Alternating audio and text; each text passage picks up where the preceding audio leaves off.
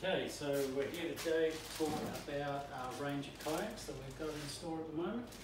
Uh, starting from our 1.8 kids kayak, it's rated to 65 kgs.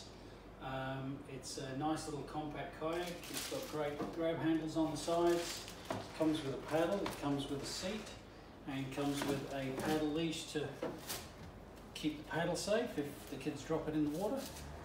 Uh, and then we move on to our next kayak, which is our 2.2. Uh, this is designed for um, small adults or teenagers. Uh, it's rated to 85 kilos.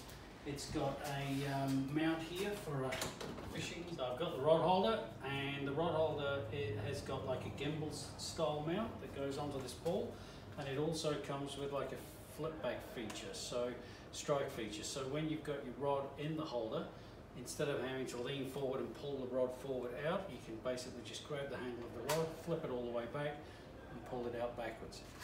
So this clips on really make the gimbal area loose, pop it onto the ball, and then tighten it up. Really easy, you can adjust it to whatever angle you want, and then tighten it. It's got a drain plug in the front, it's got a front attachment D-ring, it's got D-rings for the seat, and it's got rod holders that go all the way through the hull.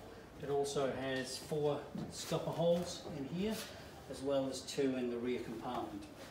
Uh, this, this kayak also has a, a feature in the rear where you can actually attach a, a, um, a wheel.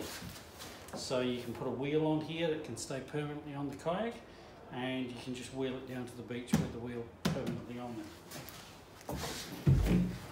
Also, it comes with a uh, paddle and a leash and a seat.